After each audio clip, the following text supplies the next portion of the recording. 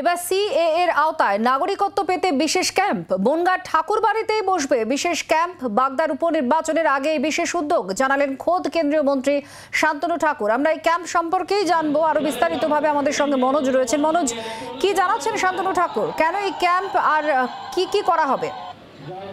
দেখো, বাগদার উপনির্বাচন আর সেই উপলক্ষে কিন্তু বাগদায় একটি মতুয়া সংঘের পক্ষ থেকে একটি সম্মেলনের আয়োজন করা হয়েছিল। সেখানেই উপস্থিত ছিলেন কেন্দ্রীয় জাহাজ প্রতিমন্ত্রী শান্তনু ঠাকুর। তিনি বক্তব্য রাখতে গিয়ে বলেন যে সিএএ শুধুমাত্র ইমপ্লিমেন্টেশন হয়েছে, কিন্তু এখনও পর্যন্ত কার্যকর হয়নি।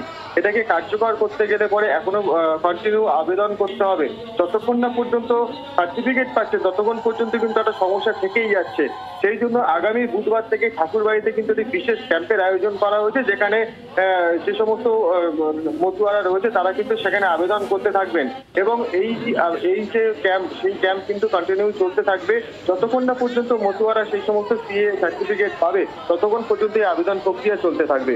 এমনটাই জানিয়েছেন শান্তনু ঠাকুর। ধন্যবাদ। শান্তনু ঠাকুরের বক্তব্য এবার শোনাবো আপনাদের।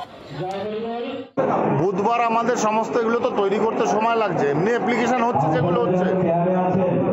ডাইরেক্ট যে ঠাকুর বাড়িতে যেখান থেকে ক্যাম্প করা হবে সে ক্যাম্প চালু হয়ে যাবে আগামী বুধবার থেকে।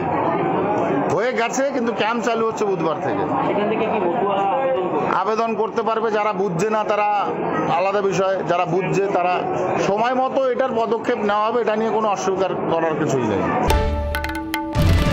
বাংলার আওয়াজ বাঙালির আবেগ জি চব্বিশ ঘন্টা